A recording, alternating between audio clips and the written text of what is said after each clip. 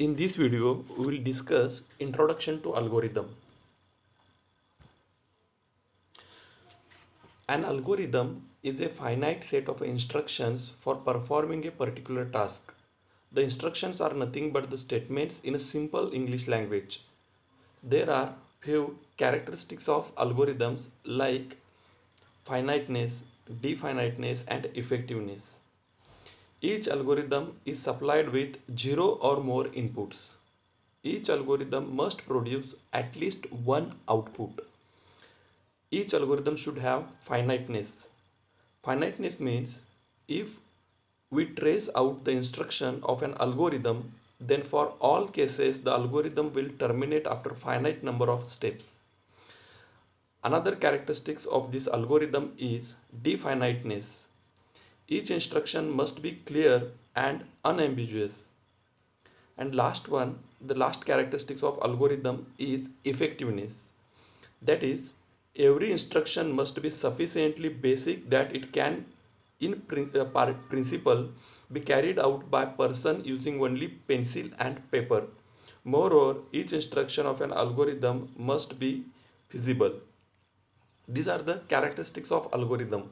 Now let us consider algorithm design tools. Algorithms can be designed by using pseudo code or flowchart.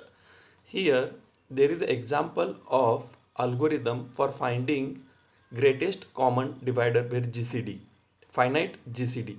In this case there are two inputs. So here these inputs are named as first number, second number and output is greatest common divisor. Now here let us consider one example. Here. So this is the algorithm where step 1 read two positive integers and store them in x and y. Let us consider there are two integers. So first integer is 15 another integer is 6 now in this case we will read 15 as a x and 6 as a y. Then divide x by y. So 15 divided by 6 here the remainder is so here remainder is 3 and quotient is 2 if r is 0 go to step 7 r is 0 means if remainder is 7 then directly print the y output and stop. But else if r is not 0 then step 4 is assign y to x assign r to y and go to step 2 so repeat the same process. So this is the algorithm for finding greatest common divisor now here let us consider this example where value x and y are 15 and 9 here. So first step is as I said find out uh, assign first number as a x another number as a y. Then step 2 what is the step 2 step 2 in this case it is divide x by y and keep r as a reminder and quotient be y. So here x is equal to 15 y is equal to 9 15 divided by 9 is 6 and sorry remainder is 6 and quotient is 1 so step 3 is step 3 is we'll check whether r is 0 or not. So here step 3 is if r is 0 go to step 7 else go to step 4 which is assign y to x.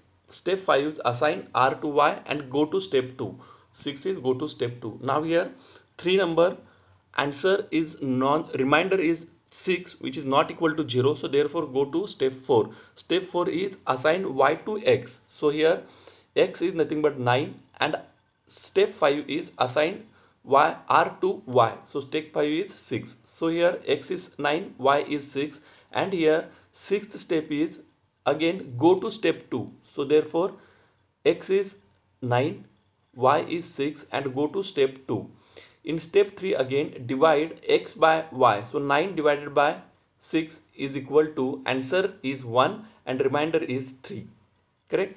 Again here we'll go to step 3 and we'll check whether r is 0 or non-zero. If it is 0 go to step 7 else go to step 3 now here in step 3 again 9 6 3 1 so these are the x y R and Q respectively. So here step 4 is assign Y to X, assign R to Y and here go to step 5 so step 5 again here 6 3 3 1 now here 6 uh, step 6 is go to step 2 so in step 2 again values are 6 2 6 3 and here 6 is divided by 3 so answer is 0 remainder is 0 and quotient is 2 now here remainder is 0 so therefore we will compare r with 0 if it is 0 then go to step 7 where which is occurred in step 3 and here it is observed that in 7 we will print content of y where y is nothing but the 3 and here the greatest common divisor of 15 and 9 is 3 so in this way we can analyze the algorithm. Okay. Thank you